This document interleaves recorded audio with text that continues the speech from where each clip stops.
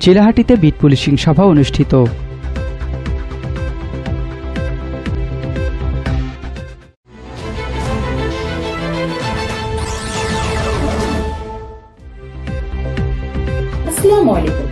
টেলিভিশনের নিয়মিত সংবাদে আপনাদের স্বাগত জানাচ্ছি আমি মুর্শিদ আক্তার। এখন ডেস্ক থেকে বিস্তারিত।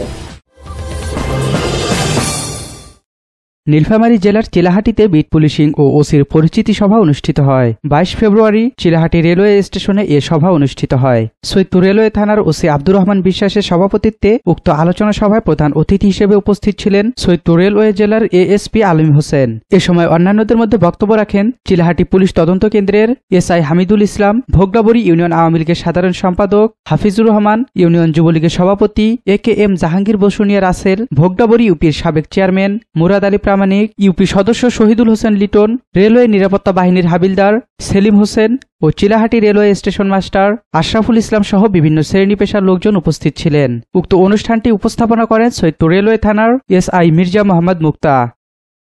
Alim Chowdhury, national desk, MK television.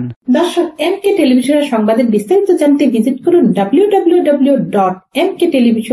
Net এই ঠিকানায়।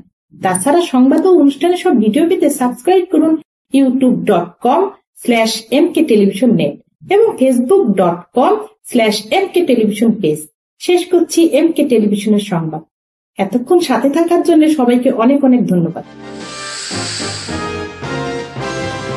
M K television